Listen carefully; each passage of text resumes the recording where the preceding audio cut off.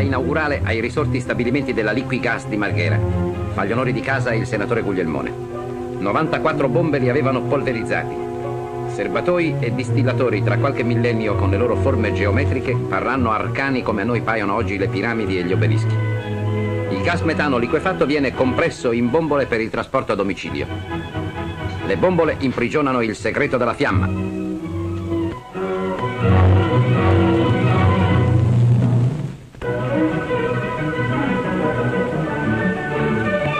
Londra. Invece che al solito comando azione con cui iniziano le scene in teatro, i divi inglesi obbediscono oggi al comando buona azione. Ed ecco Billy Milton improvvisare un numero benefico. Ophelia, Jan Simmons ha lasciato Amleto.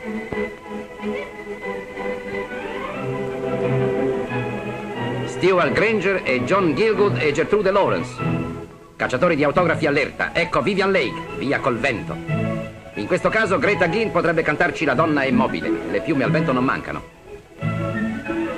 E l'attrice comica Topolsky deve essere distratta, si è messa in testa la bombetta del marito. Milano, firme illustri su quest'album di Rigoli, re dei banchisti, e gli amatori invidieranno il disegno di De Chirico. Oggi intorno a Rigoli e ai suoi cocktails si raduna l'almanacco di cotta delle miscele spiritose, Giorgio del Continental e Marino di St. Moritz e Ugo del Piccolo Bar, artisti in grado di apprezzare le sapienti ricette del collega.